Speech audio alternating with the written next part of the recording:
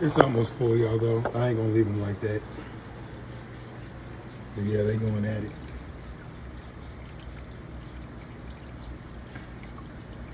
There ain't no way I can leave them like that. That Butterkofori will kill that red tail before the day's over. You can see he can't hang with him.